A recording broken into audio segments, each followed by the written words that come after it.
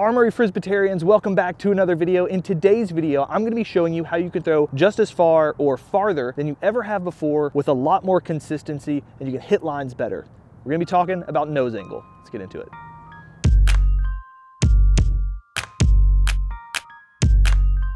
The nose angle of your disc upon release has a huge impact on how the disc flies. I'm gonna show you why that impacts the disc, and then I'm gonna show you what you can do with your wrist, with your elbow, with your weight transfer, and then one super important tip at the end to show you how to piece all of this together. Stick around over the next couple minutes and you'll be throwing nose down lasers in no time. If you can keep the nose of the disc down, the disc will push through the air longer because it's flying more aerodynamically. If you release the disc nose up, then as the disc flies through the air, more wind is going to hit the bottom side of the disc. It's going to push it up, it's gonna make it fade out. So if you want to throw farther and if you want to get a little more turn out of your discs, you need to keep the nose down. The nose angle of the disc has a bigger impact on drivers than it does slower speed discs like putters and mid-ranges. If you're stuck throwing mid-ranges just about as far as you're throwing fairway drivers and distance drivers, you probably have a nose up issue. Keeping the disc down in the air is also crucially important when you get to holes like this one that we have here. I need to be able to push forward 250-ish feet underneath a ceiling. If I throw nose up, the disc is going to drift upwards and hit that ceiling and cut off all the extra distance that I could have on this throw. So let's see if I can get the nose down and get something pushing out through the gap.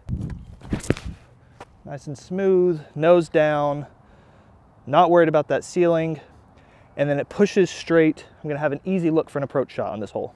So nose angle is really important, but how do you get the nose of the disc down? Let's look at it. One of the ways is to get your wrist pointed down. When you release a disc, you want the nose of the disc to be down, not up. And you can see where I'm going with this. Your wrist controls so much of the nose angle of the disc. You'll often hear people talk about pouring the tea or pouring a cup of coffee or something like that. You want to hold the disc and then point your wrist down as though you were pouring a cup of coffee or tea or whatnot to get that nose down. And you want to hold this angle of your wrist all the way through your pull through. Don't think that you can have a lazy wrist coming up through your pull through and then snap it down at the end. It's just not going to work. As you're pulling through, you want the disc to be below your wrist throughout the entirety of the flight path.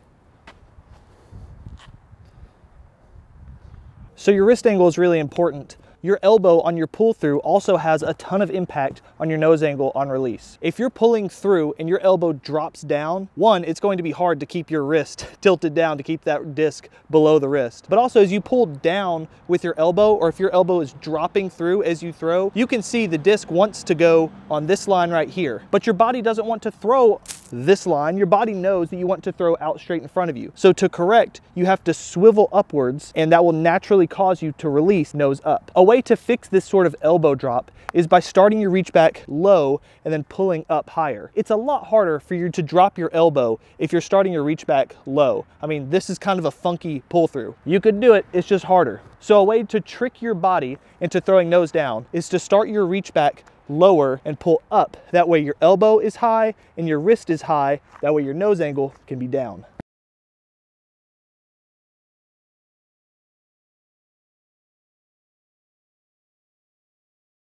throwing nose down will get less wind underneath the disc. And so instead of it stalling and fading, it's gonna turn more. If you have trouble throwing long turnover shots, try working on some of these nose down angles and go give them another try. Because discs want to fly nose down, when you release them correctly, you're going to notice you're gonna get effortless distance. It feels cool, looks good, and it'll help you score better too.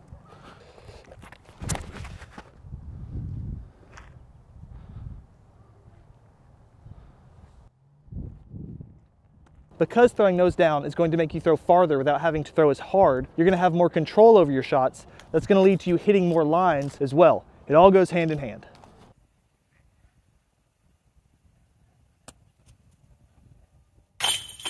Your wrist angle is important, your elbow is important, pull through from low to high. But if you do all of that and then you follow through like this, it's gonna be hard to get the nose angle down. So if you have one of these leaning back follow throughs, try focusing on getting your weight from the center of your body out over your front foot. That way you can incorporate all these things and keep that nose angle down through the release.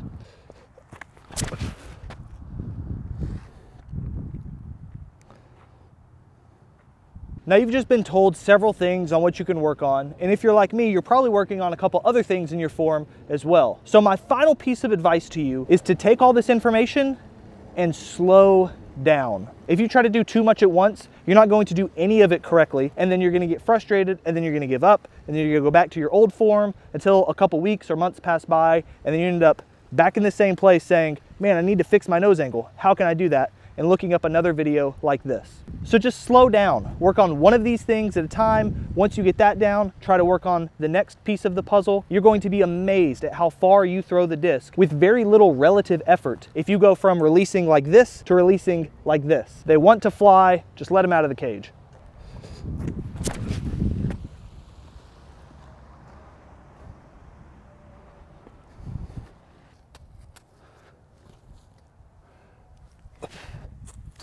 If you enjoyed the video, please leave a like, comment down below, let me know which one of these was most helpful for you or which you wanna see next, and subscribe so you don't miss any further content, and I'll catch y'all in the next one.